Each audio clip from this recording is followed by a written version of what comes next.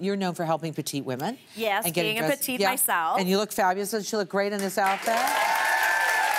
So suits for International uh, Women's That's Day. right. That's right. So a petite is considered five three and under. That's right, Marilyn. Okay. Yes, yes. And, and there's do's and don'ts, and I know we're going to talk about that. For but sure. you want you and you wanted to mention too that a lot of stores do not carry. Still don't carry enough yeah, petite yeah, options. I yeah. mean, it's really funny to me because I think petite women actually outnumber women who are on the very tall scale. Uh -huh. um, however, like the the brands and the you know they still go with those very traditional model um, sizing. Right. So this is why I wanted to tackle it again today. I mean, it's such a hot topic. So many of our viewers write in asking yes, for this. They do. And I think that having the visual side-by-side -side comparison mm -hmm. of the Mm-hmm. do's and the don'ts really allows you to see when you're shopping, okay, I see something like that, but yeah. that's better for me. voice will be in your head. okay, let's yes. talk about do's and don'ts. The don'ts for blouses, jackets, and trousers. Yes, I should just mention, though, yeah. that these don'ts are only don'ts for petites. Yeah. These are still fabulous options. Fabulous. So if you have this at home, ladies and gentlemen, do not worry.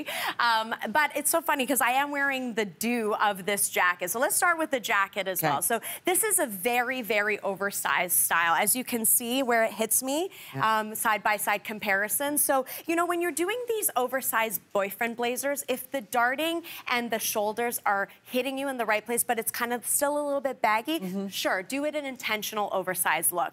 But when these things are kind of out of place, it looks like you just shopped a size too big, you know? Yes, and then it looks very sloppy. So this is something that's really important because these boyfriend blazers are everywhere right now. So you want to make sure that this fits shoulder fits correct. There. The darting is correct. That's right where it should be. You know, yeah. and yeah. and still you're still seeing some of yeah. your figure because that's very important. Now moving on to blouses. Yeah. A lot of these beautiful waterfall kind of necklines, you know, the mock necks are also very in style. If you're going for something that is a high neck, I suggest doing something that's a little bit more tighter fitting to the body. Like a tight turtleneck. Exactly. Yeah, because then we can still see your silhouette. Definition. Exactly. Okay, got it. So this, you know, kind of goes all over the place. It looks sloppy. And in terms of the trouser, I love these paper bag style trousers. I see them on the runway. I'm like, oh my gosh, she looks amazing. But then on me, it's like, it looks like a sack that was just gathered at the stomach. And it doesn't look right. So that's a no. Instead, that's go, a no. Instead, go for something way more tailored to fit. Sure, sure. Yeah. And what about the shoes? The shoes. Okay, I put in a kitten heel here. Mm -hmm. um, you know, I think that petite gals, if you want to rock a kitten heel, go ahead. But make sure you have a cropped kind of pant or something like a, a skirt that hits mm -hmm. you above the knee. If you are going to wear pants, however, uh, that's right down to the floor, a kitten heel is going to look a little bit like you're all, like still wearing flats, basically. Right, right, right. Yeah. Right. Okay, let's see how petites can wear these pieces on. Lisa.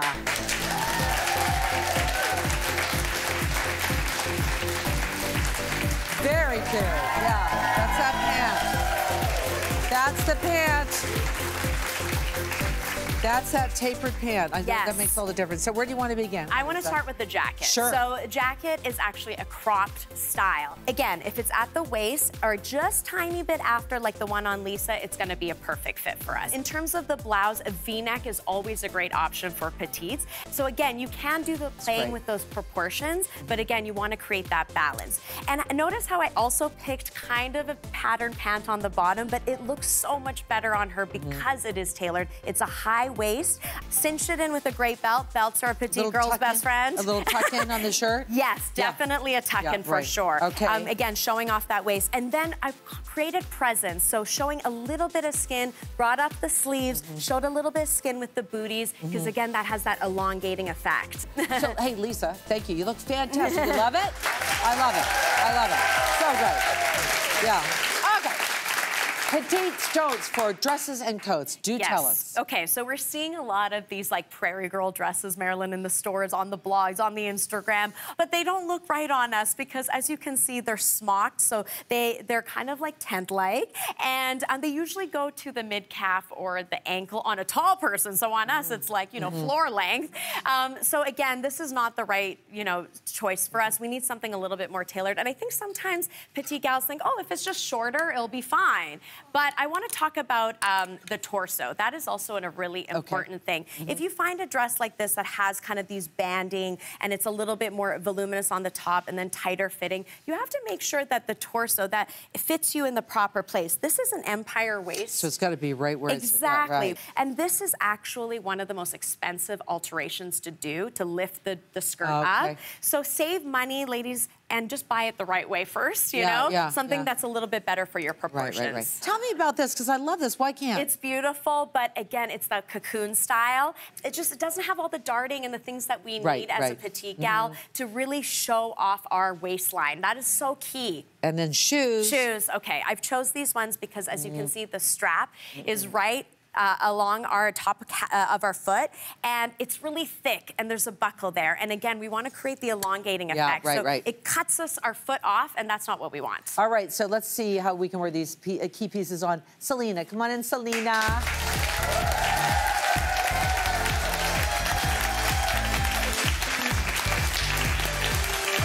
Very cute. How cute is that? All right, Selena's rocking that. Adorable. All right. So I, I want to go first to the dress because Yes. that, that that is a rockin' dress. Okay. It is a yeah, rockin' dress, yeah. and she's rocking it. Yeah. Um, so Yeah. this dress is from the petite section of Evernew. So when we were shopping, we Ah, found yeah. this one. Again, ladies, look for those petite sections in the stores. They are your best friend. They already have all the alterations ready for you. And this, as you can see, the torso is perfect. It's Right just is. Mm-hmm. under her bust. This is what we want. The cascading fabric is so beautiful and flattering. And then it has a bit of movement. And that's what we want as a petite gal as well. A little bit of movement allows us to, you know, kind of bring interest to our body, Mm-hmm. places that we don't want them to see, which is our height. Oh, look at that. Oh, that's nice. Um, so again, a shorter hem length, which is correct. This is obviously more of like a, an evening look. Mm-hmm. I, I wouldn't recommend this dress for the office, but you know, she's going out on a date night or out with their girls. This is a perfect look. Fun. It's fun. Exactly. And then in terms of the trench coat, see how the trench coat has all of the beautiful piping Yeah. and the, the shoulders are correct placement. I just cinched the belt in the back, turn around, hun.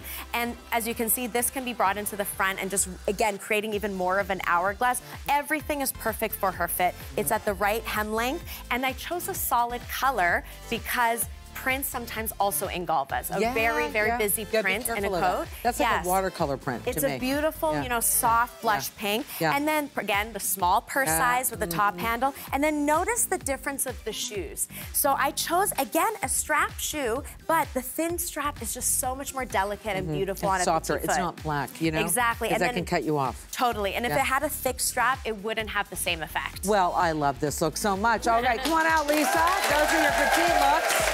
There you go. Go right, right by her. Go right over there. Let's look at all the three beautiful petite women. All right, thank you to Mana. Great lessons. We're going to take a break. We'll be right back, everybody.